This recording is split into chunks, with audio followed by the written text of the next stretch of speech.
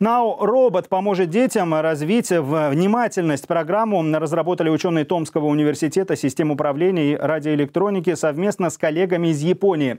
Первый эксперимент провели удаленно. Сам робот находился в Томске, а команды для него с помощью специального шлема задавались с острова Хансю из университета Киото. Специалисты уверены, программа позволит развивать внимательность у детей с гиперактивностью. А вот что думают психологи и родители таких детей, расскажет Наталья Михайлова. Будем говорить поднять руки.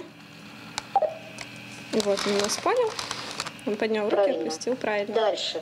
НАУ показывает четыре движения. Задача ребенка – их запомнить и попросить робота повторить в ту же последовательности. Все прописано в программе. Первый эксперимент ученые Тусуру провели с помощью коллег из Японии. Там человек в специальном шлеме задавал команды, а робот, будучи в Томске, их исполнял. Разработчики считают, что программа поможет развить внимательность и в первую очередь детям с гиперактивностью. Правда, пока говорить о широком использовании рано. С нашей точки зрения, вот те э, вот, реализованные идеи, вот эта вот разработка может быть положена в основу э, терапевтических методов, которые применяются при работе с детьми. Мы очень надеемся, на самом деле, что цена этих роботов э, со временем, она и так снижается со временем будет снижена до того порога, когда этих роботов могут позволить себе приобретать и детские учреждения, и школы, и детсады, ясли.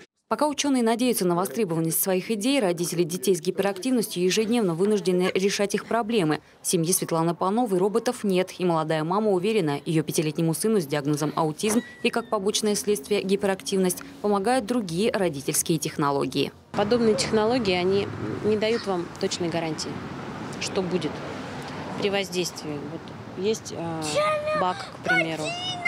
Ребеночек в наушниках сидит там, а мелодия обрабатывается. Кому-то подходит такой метод коррекции, кому-то не подходит. А в случае наших детей только пробовать остается. Естественные варианты воздействия, они, как сказать, я думаю, продуктивнее. Просто надо терпения больше.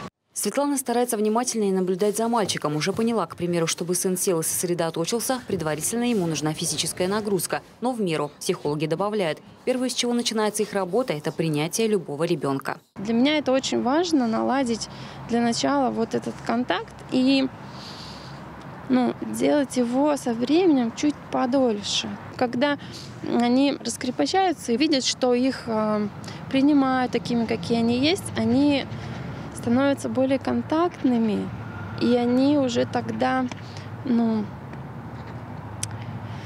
включаются и в другого человека. Для этого нужно время. Робот, которого дети воспринимают как игрушку, поможет им быстрее продвигаться в своем развитии. Правда, пока это только эксперимент. Наталья Михайлова, Алина Штарк, Владислав Кочетов. Новости здесь, Томск.